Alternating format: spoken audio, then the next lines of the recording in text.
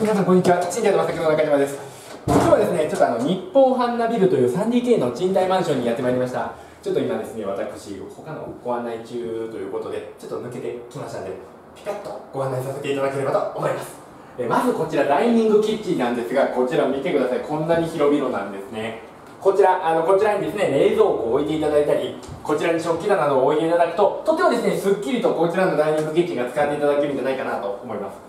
こちらオープンキッチンタイプのキッチンとなっておりまして上から下までしっかりとですねキッチンスペース、えー、キッチン用品を収納できるように棚もございますのでご安心ください。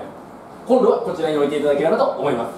そしてこちらのお部屋は南向きのお部屋となっております。こちら見てください。このようにですね広々としたバルコニーがありますので洗濯物もとってもしっかりと干せるんですね。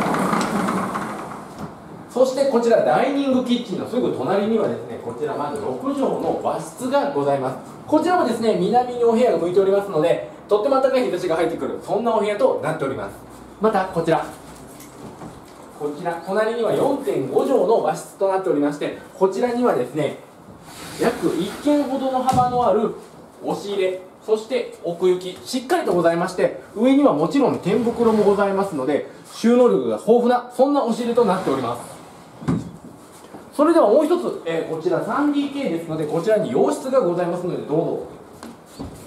こちらです。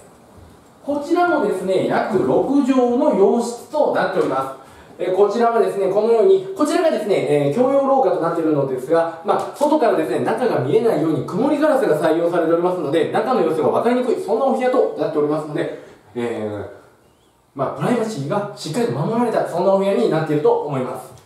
それでは続きまして水回りをご紹介したいと思いますはいこちらです、えー、まずはこちら入ってすぐのところにこのように独立の洗面台がございます。そして奥にはお手洗い。はい。そしてこちら1段上がって室内洗濯狂気はこれだけ広々としてると何でも置けそうですよね。そしてこちら。こちらにははい白を基調としたとっても清潔感あふれるお風呂がございます。もちろんシャワーもついてます。皆さんどうでしたか？こんだけ広々とした 3DK の賃貸マンション。気になるのはやっぱり賃貸条件だと思います。気になる賃貸条件は弊社ホームページをご参照ください。奈良のおもてなし奈良心。賃貸のまさきでは皆様のご来店をお待ちしております。それでは案内に戻ります。さようなら。